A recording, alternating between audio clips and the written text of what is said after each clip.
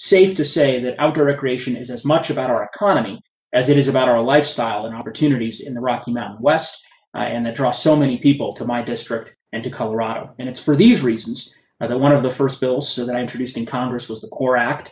Uh, I've worked with Chair Grijalva and others to now pass uh, this proposal uh, through the House on numerous occasions, including most recently this year uh, as a title of Representative DeGette's, Protecting America's Wilderness and Public Lands Act, very important measure.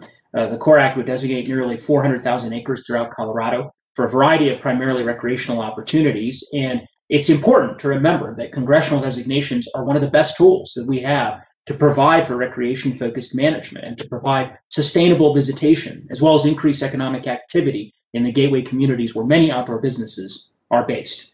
While the CORE Act is focused on Colorado's communities, there are further policy changes that we believe can help us improve public lands recreation nationally.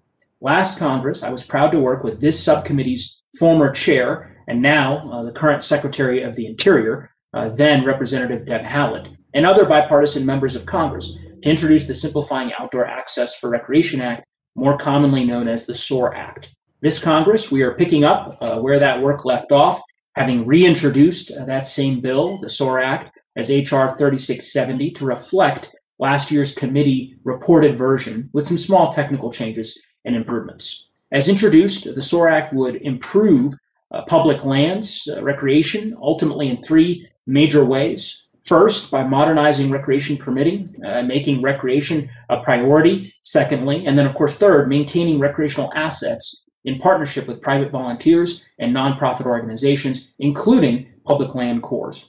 More simply put, the SOAR Act is about making sure outdoor recreation is growing our multi billion dollar recreation economy while providing communities with the physical and mental benefits of time outside.